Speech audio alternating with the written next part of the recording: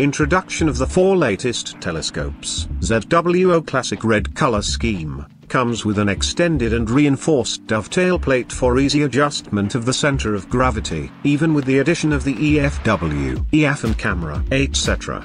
It is easy to achieve balance. Multifunctional tube ring. Easy and convenient operation. ZWO Astronomical Telescope adopts four-lens design, and two of the first three lenses are ED glass. ED stands for extra low dispersion glass. The use of ED glass allows for better control of the telescope's chromatic aberration. What are the naming rules?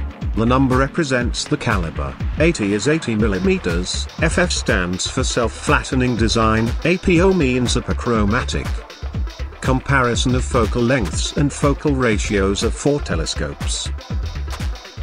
ZWO astronomical telescopes can offer quite a wide range of applications. The FF65 APO is relatively compact, but supports full-frame cameras, and the FF130 APO can support larger medium format. All four telescopes have adapted focal reducer options.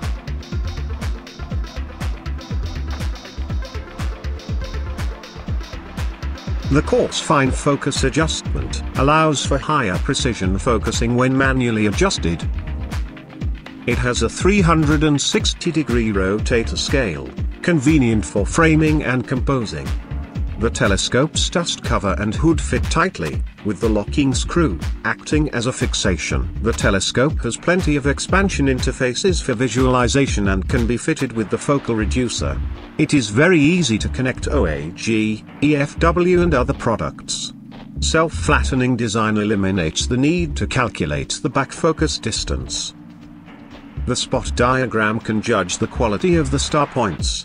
Getting 2.5 micrometers star point in the center of the imaging can be considered ideal. Off the center, it goes up to 5 to 6 micrometers. With a small frame camera, the quality of the star point will be good. With the focuser indented, the FF65 APO has a maximum connection length of 76 mm at the rear end from the M48 adapter. In terms of weight and size, the larger the caliber, the heavier the mirror, how does it really image? We took the assembled unit outdoors. Let's see how the shot really looks. The center and corner star points all look great. That's all for now about the 4ZWO telescopes. Clear skies.